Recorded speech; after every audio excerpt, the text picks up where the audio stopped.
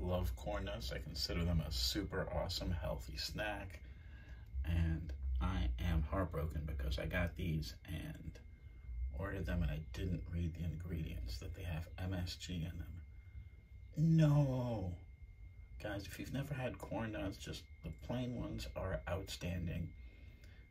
They're really hard. They are literally probably the hardest snack shelf, the hardest snack by far that's ever been created, other than those Mexican seed and nut bars, which are equally like you really have to use your jaw strength to crack into these things. They're unusually hard, which is a weird texture, but they're not full of wheat. They're they're pretty healthy actually, aside from, you know, this variety that they decided from for whatever reason to throw MSG into. And um, you know, like I said, they're really hard, really salty, and and really yummy. And I was super um, super psyched about the flavor of these. And I turned them around as I'm digging into one of the bags, and I'm like, no, MSG. That's why it tastes so good.